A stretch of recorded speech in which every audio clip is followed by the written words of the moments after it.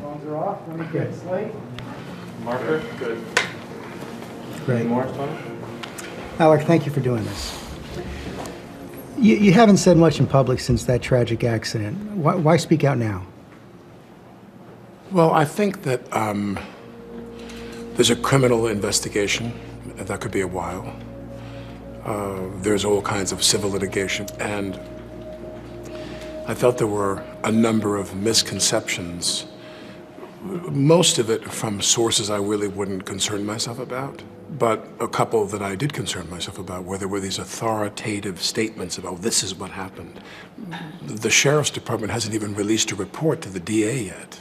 The reason I wanted to sit down with you is because I really feel like I can't wait for that process to fin to end in February, March. I mean, I'm not asking them to speed it up for my benefit. That's ridiculous.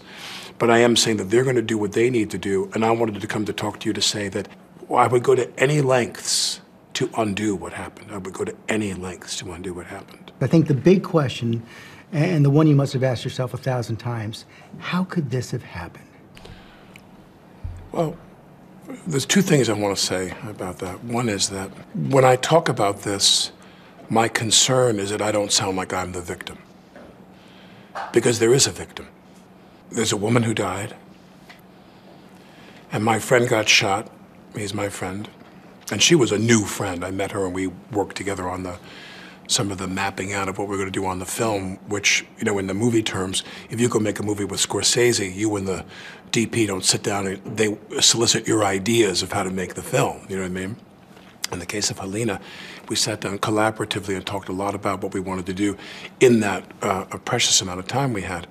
But um, I, I, I want to make sure that I don't come across like I'm the victim because we have two victims here. And the second thing is, is that all of what happened on that day leading up to this event was precipitated on one idea, and that is that Halyna and I had something profound in common. And that is we both assumed the gun was empty, other than those, you know, uh, dummy rounds. I want to get into more detail on the day in a minute, but let's take a step back. What was it that drew you to this project in the first place, to Rust? I'd worked on a project with Joel before. Joel Souza, the Souza, director. right. He, he did this movie, Crown Vic, that I produced. And uh, Joel and I stayed in touch. We're friends, and I loved Rust. He, he said, I want to send you this.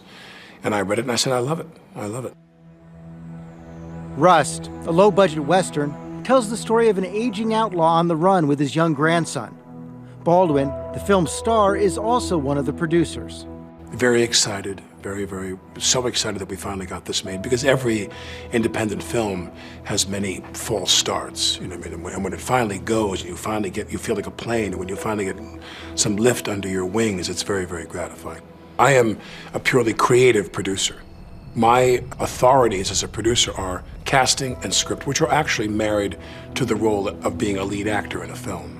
So you're not the kind of producer who's looking at the line item of each budget. No, no, no, no, no, no. There, there, there are basically two types of producers who are who are really in charge of production: people that raise the money, and the people who spend the money. My consultations or approvals were completely about casting and about the script.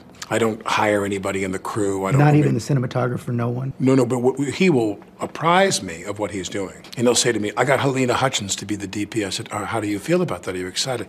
I'm very excited. She's wonderful. What did you know about Halyna Hutchins before she started working on this? I knew nothing about her until Joel said to me, I got her. She was fantastic. Halyna Hutchins, the talented cinematographer praised by many in the industry, was a trailblazer in the field historically dominated by men. Make sure we don't see people The Ukrainian born cinematographer quickly gelled with Baldwin. The people who watched The Daily said that her work was beautiful. She was someone who was loved by everyone who worked with and liked by everyone who worked with and admired.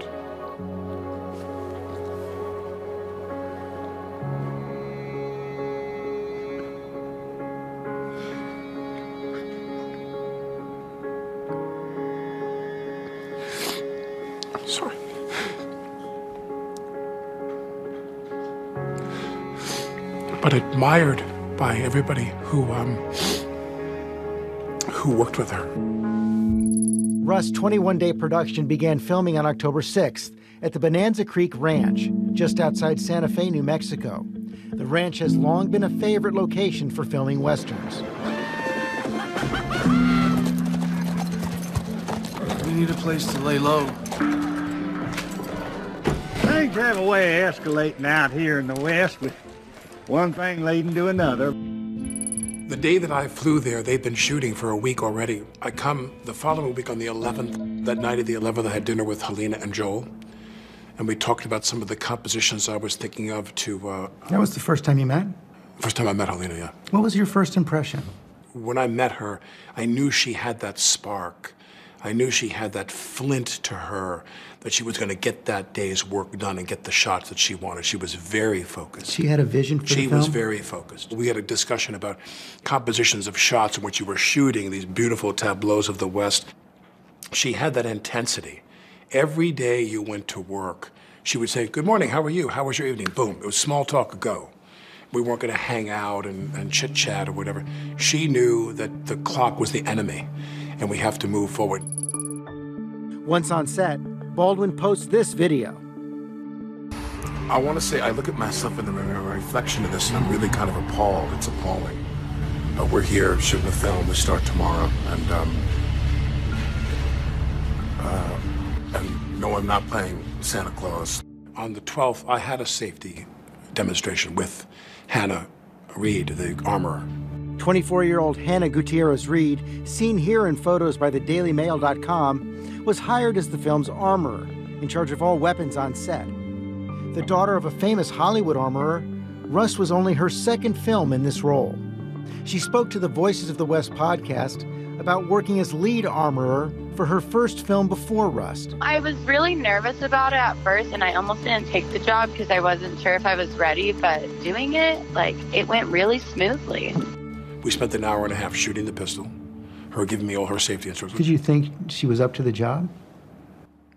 I assumed because she was there and she was hired, she was she was up for the job. And nothing she did raised any red flags with you? No. Th- This, this training course you do, what did she tell you?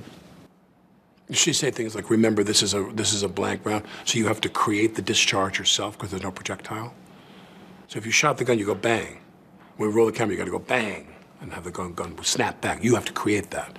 She would give you little tips about firing, and she'd say to you, you know, uh, uh, "When we're done, point the gun down. When we're done, you give the gun to me or to Halls. Only those two people." Dave Halls was Rust's assistant director, also known as the first AD. Seen here in this IMDb photo, he was responsible for keeping the production on schedule. Sometimes we would be on a set that was a very, very cramped set, and they wanted people in that room on an as needed basis. If I'm holding the gun and they say cut, I then hand the gun to Halls if she's not there. Yeah, why Hall's not Hannah? Some people have said that only the armorer should be handling No, no, no, no, no, no. That, that's that's in, inaccurate. Meaning, in, in, in, in the protocols of the business, meaning Hannah would to hand me the gun 99% of the time. No, whatever, the, the preponderance of the time. But when we would say cut, if Hannah was away from the set, I would hand Halls the gun. Hannah Gutierrez Reed had a dual role on set armorer, and she was also the assistant prop master for the film. One of the things her attorney has said is that she was hired for two positions on the film and therefore was stretched in an inappropriate way. Did she raise any of those concerns with you? No, I assume that everyone who's shooting a lower budget film uh, is stretched, myself included. And I, I, I got no complaints from her or the prop department. I'm not sitting there when I'm getting dressed and ready to go do a scene saying, oh my God, the prop woman seemed very harried today. I didn't get a sense of that from, from, from any of the, the, the people on the film. The first time I heard that there was any problem with anybody uh, in the crew of the film was when Luper said, well, we have some issues here. Lane Luper, the first camera assistant, would email production managers a resignation letter later that night, citing safety concerns.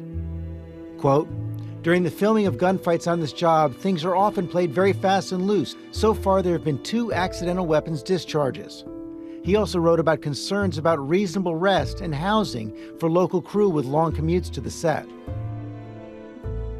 When he quit, now, the day before that happened, we wrapped. And he came up to me and he said, Thank you for the position you've taken on behalf of IATSE and the union on social media. I said, My pleasure. This photo, posted by Halyna, showed the cast and crew in solidarity with IATSE, the International Alliance of Theatrical Stage Employees, which had been on the verge of a strike, And Alec posted this on Instagram. And I want to say to the people in IATSE, do what you need to do. You want to go on strike? Go on strike. Because I'll tell you something about the executives. They don't give a about you. He said, because we have some issues here. I said, such as? And he said, my men need a better hotel room.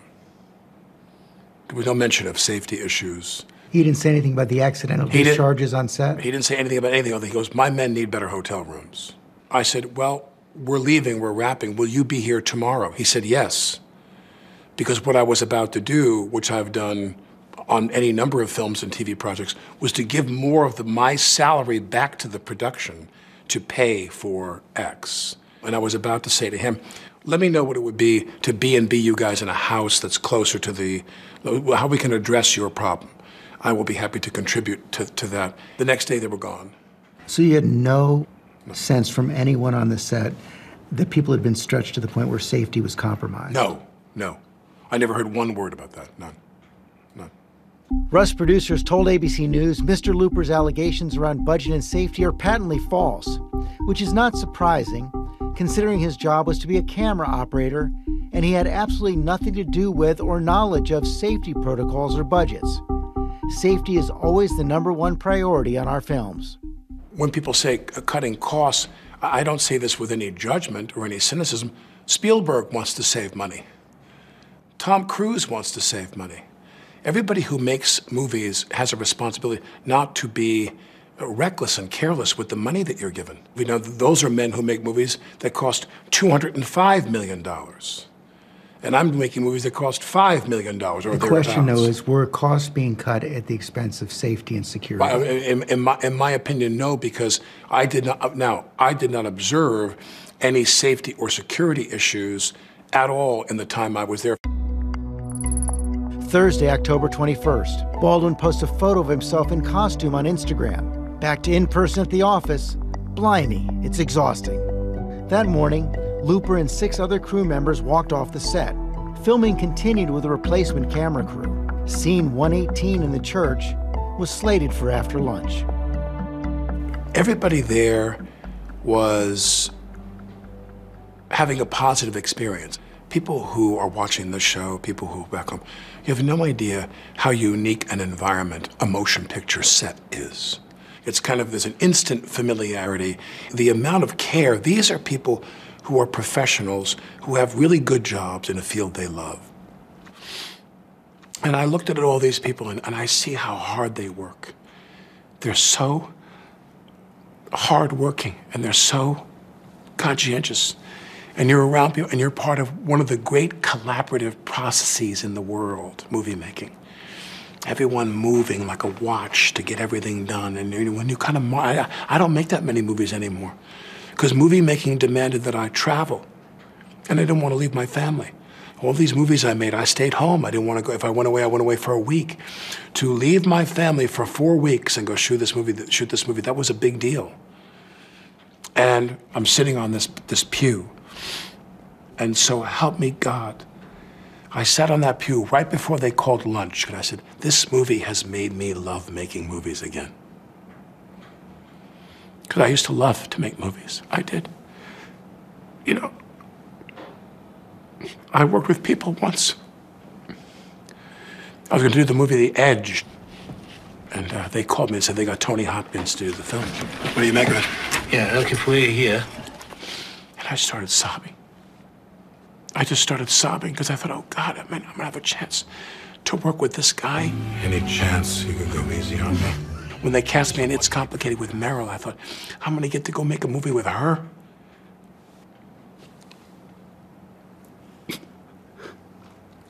You know, sorry. You know, people, they have their dreams.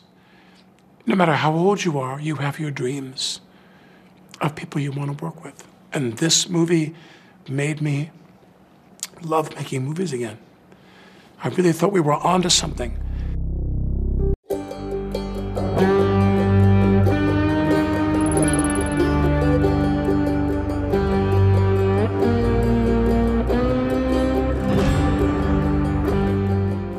It was the 12th day of their 21 day shoot. That day, I did exactly what I've done every day uh, on that movie. Baldwin was preparing for his next scene a shootout inside this wooden church.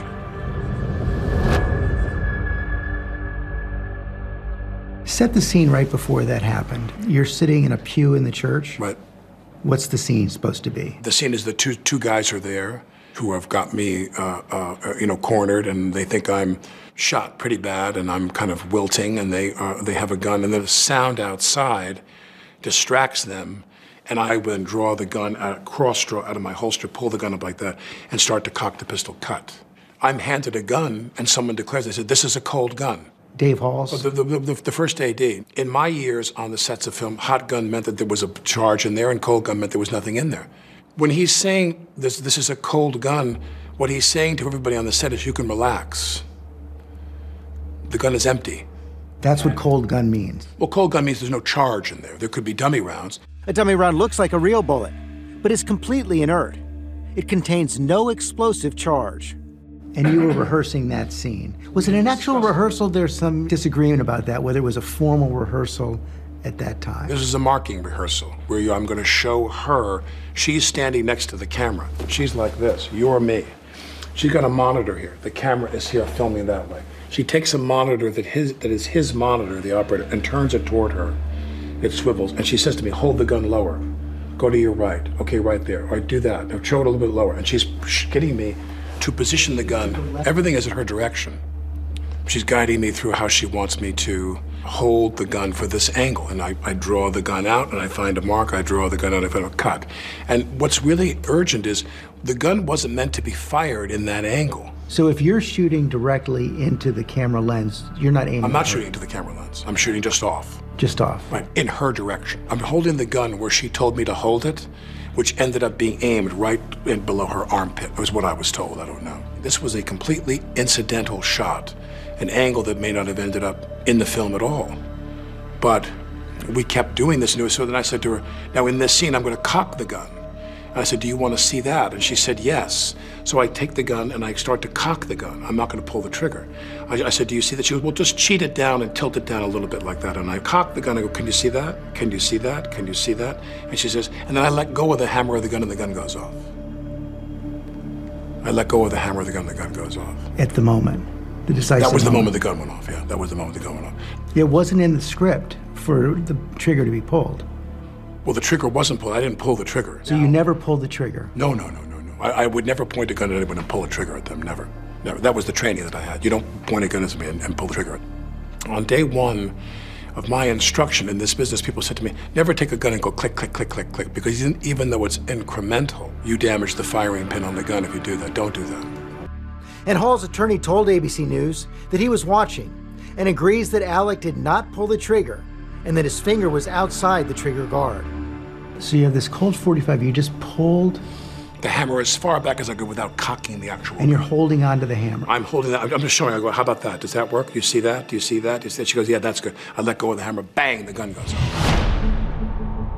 Everyone is horrified. They're shocked. Uh, it's loud. They don't have their earplugs in. No one was. The gun was supposed to be empty. I was told I was handed an empty gun. If there were cosmetic rounds, nothing with a charge at all, a flash round, nothing. She goes down. I thought to myself, did she faint? The notion that there was a live round in that gun did not dawn on me till probably 45 minutes to an hour later. 45 minutes to an hour. Well, she's laying there, and I go, Did she get it by wadding? Was there a blank? Sometimes those blank rounds have a wadding inside that packs, it's like, like a cloth that packs the gunpowder. in. sometimes wadding comes out and can hit people, and it can feel like a little bit of a poke. But no one could understand. Did she have a heart attack? Because remember, the idea that someone put a live bullet in the gun was not even in reality. Did you go up to her? Did you back I went away? up to her, and then we were immediately we were told to get out of the building. We were forced to get out of the building. The medics came in. I mean, I stood over her for 60 seconds, and she just lay there, kind of in shock. Was she conscious? Uh, my recollection is yes. 911, what's the location of your emergency? We need a net, we need an ambulance out at Bonanza Creek Ranch right now. We've got two people shot on a movie set accidentally. I'll connect you with medical dispatch. Don't hang up. Director Joel Souza is also wounded, his shoulder hit by the same bullet that traveled through Halyna. When she went down, he went down and he was screaming really loudly. And I thought, what is he screaming? What happened? So was it loaded with a real bullet or one? We don't, I don't. I cannot tell you that. Okay. We have two injuries from a movie gun shot. Okay. We're getting them out there already. Just stay on the phone with me. Okay. Within 15 minutes or 20 minutes after that, the police arrived and took the church set and put the crime tape around it, the yellow tape, and forced us all to the perimeters of the parking area where we sat and waited. She was in the church, and she was not taken out of the church for quite a while. In the aftermath, there was chaos and confusion. But nobody told you what happened? No, no. Did it, you know- it wasn't until I was in the police station. Hours later, I mean, it was like seeing aliens. It was, it was, it was utter disbelief over the idea. It was unacceptable, the idea that it was a live round. And finally, one of the police officers, at the conclusion of my interview, I was there for like an hour and a half or so, she takes her phone and she slides it across to me. She says, That's what came out of Joel's shoulder. A 45 caliber slug. It was a real bullet. Had you known that Joel had been hit? No one had any idea until that police officer, that sheriff's officer, said to me, "This is the slug, 45 caliber slug they took out of Joel's arm." And then the kind of insanity-inducing agony of thinking that someone put a live bullet in the gun.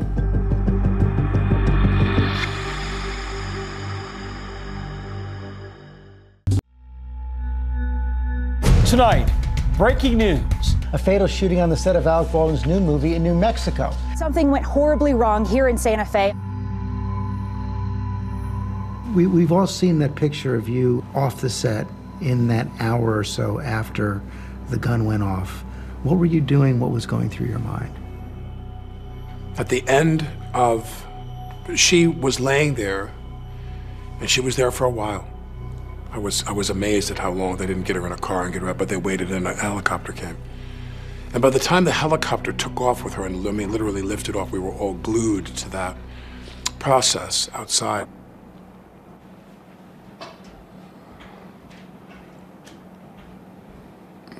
When she finally left, I, I, I don't know how long it was she was there 30 minutes, 40 minutes. It, was, it seemed like a very long time. But they kept saying, oh, she's stable. Like, like nobody, just as you disbelieved that there was a live round in the gun, you disbelieved that this was going to be a fatal accident. So you didn't know exactly how serious it was? At the very end of my interview with the sheriff's department, they said to me, We regret to tell you that she didn't make it, she died. They told me right then and there. And that's when I went in the parking lot and called my wife to talk to my wife. Shock and grief. Halyna's husband, Matthew, posted a tribute to Halyna. Halyna inspired us all with her passion and vision, and her legacy is too meaningful to encapsulate in words. Our loss is enormous. When this happened,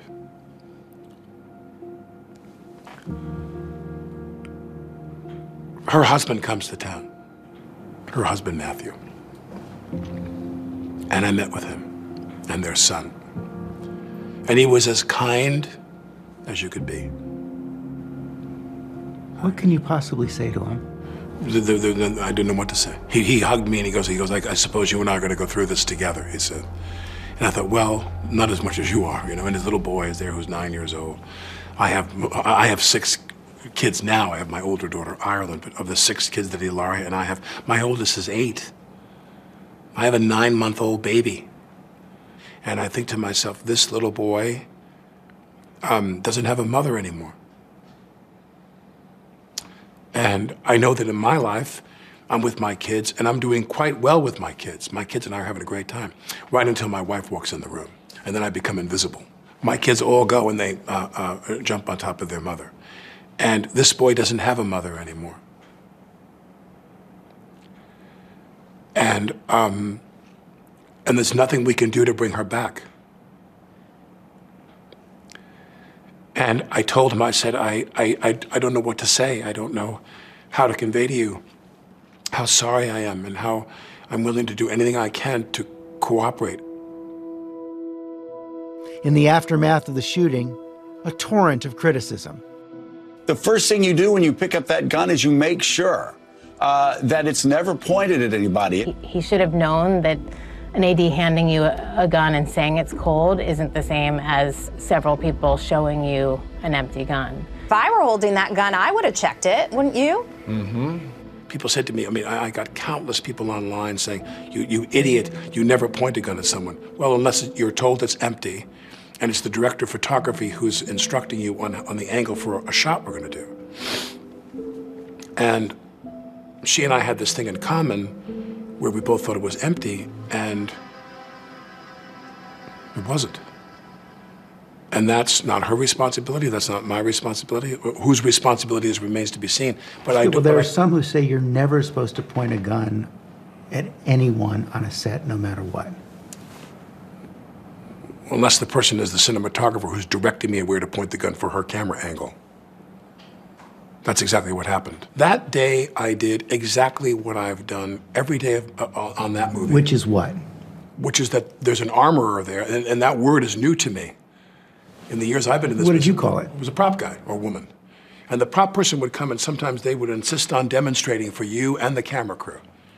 They take the gun, if it was a contemporary gun, they show you the chamber, they show you the clip, they say, the gun is cold. And you look at it and go, thank you.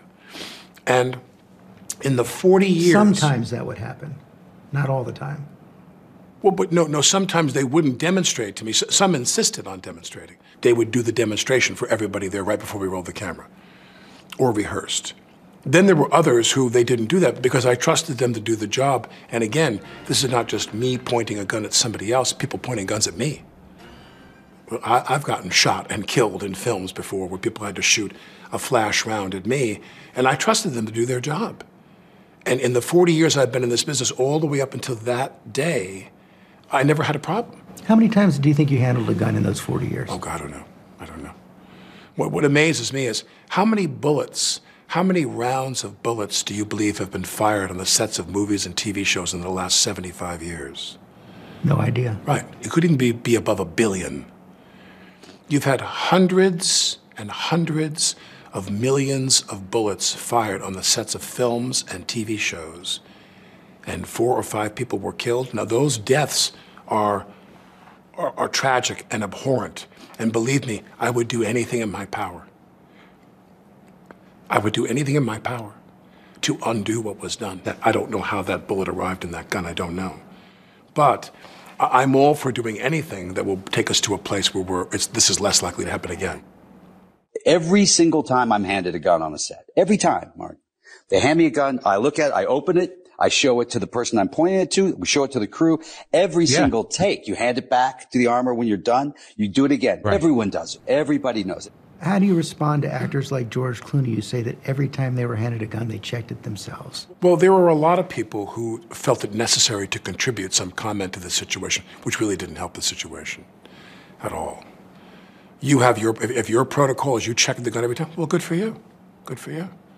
You know I mean? I probably handled weapons as much as any other actor in films with, with an average career. Again, shooting or being shot by someone. And in, in, in that time, I had a protocol, and it never let me down. Why did you choose in your 40 years not to check the gun yourself? What I was taught by someone years ago was, as I said, if I, if I took a gun and I popped a clip out of a gun or I manipulated the chamber of a gun, they would take the gun away from me and redo it. The prop person said, don't do that, when I was young. And they'd say, one thing you would need to understand is we don't want the actor to be the last line of defense against a catastrophic breach of safety with the gun. My job, they told me, man or woman, my job is to make sure the gun is safe, and then I hand you the gun and I declare the gun safe. The crew's not relying on you to say that it's safe. They're relying on me to say that it's safe. When that person who was charged with that job handed me the weapon, I trusted them, and, and I never had a problem. And this was from the beginning of your career. From, from day one, there's one person that's supposed to make sure that what is in the gun is right and that what's wrong is not in the gun. One person has that responsibility to maintain the gun. And What is the actor's responsibility? I, I guess that's a, that's a tough question because the actor's responsibility going this day forward is very different than it was the day before that. Yeah, now, now I can't. First of all, I can't imagine I'd ever do a movie that had a gun in it again. And um, I can't. When you say what is the actor's responsibility, the actor's responsibility is to do what the prop armorer tells him to do. And we did not have a problem. I mean, I understand there was an accidental discharge at one point on the set of a blank round, but we did not have a problem for me until that day. Everything gets slowed down. Zapruder film-esque here. And the issue with that is, is there's only one question to be resolved, only one. That is, where did the live round come from?